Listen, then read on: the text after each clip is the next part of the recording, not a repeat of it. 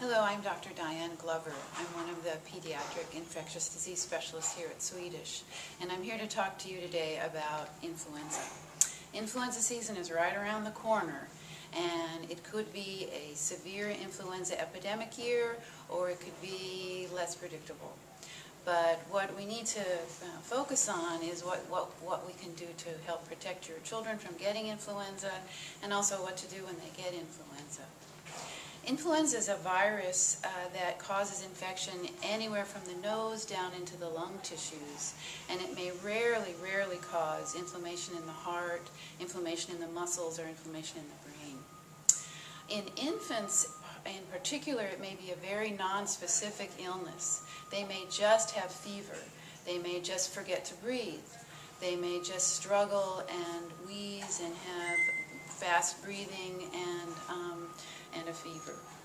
Uh, in older children, it's more like you and I getting influenza. They are achy, they have a stuffy runny nose, cough, sore throat, uh, fever, and they just want to go lie down in a dark room.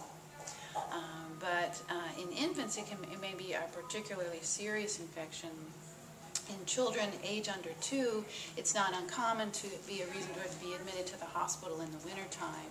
And here at Swedish, we may have infants and children with influenza uh, in the hospital um, frequently in the wintertime. So the measures to keep your child comfortable are controlling the fever, encouraging fluids, letting them rest.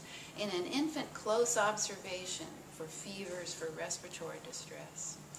Uh, and um, if you are feeling like you're getting the flu, very good idea to try to keep yourself as separate as you can from uh, vulnerable people. But influenza can jump across the room if you cough or sneeze and infect somebody six feet away. Uh, the vaccine is very effective in pre preventing influenza, and we recommend it in any age over six months. And it also this year has the, the uh, virus um, a component of the vaccine is from the virus from last year, the H1N1, so we'll, we'll also protect against that.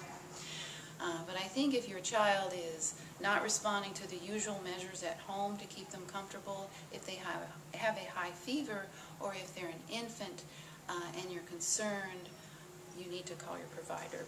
And um, uh, we, would, um, we would want those infants to be watched very closely. Thank you.